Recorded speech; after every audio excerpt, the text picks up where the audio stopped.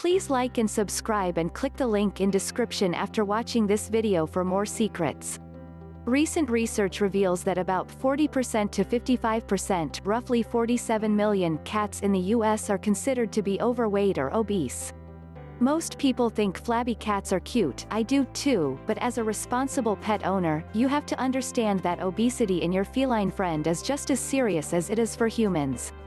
Fat cats may have turned out to be the alarmingly new normal, but keep in mind, too much weight can contribute to your pet developing many serious medical problems. What causes obesity and why it is dangerous? An obese feline is defined as one of which that weighs at least 20% more than his ideal body weight. While some cats have predisposed medical issues that make them particularly susceptible to obesity, weight gain is often just a result of mere overfeeding. Yes, let's not skip the obvious.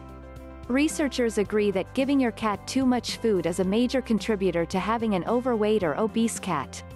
An average 10-pound feline often requires only 180 to 200 calories every day.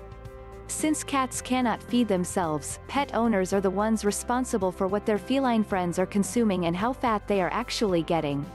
Obesity causes a number of health issues in cats. If you're not careful, your feline friend will develop life-threatening problems like arthritis, heart and lung diseases, hypertension, weakened immune function, diabetes, and even cancer. Bear in mind it has been proven that cats who are able to keep an ideal body weight tend to live longer with less health problems as compared to overweight or obese felines. How to help kitty trim down.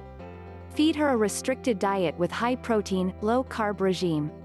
Instead of free-feeding your cat, feed her with regular, carefully measured meals two or three times a day.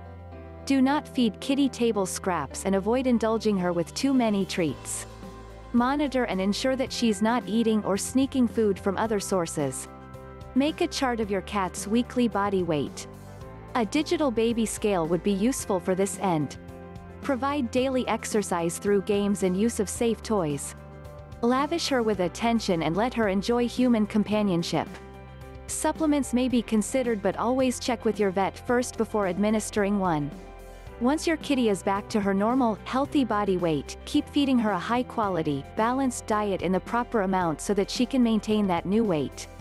Please like and subscribe and click the link in description for more secrets.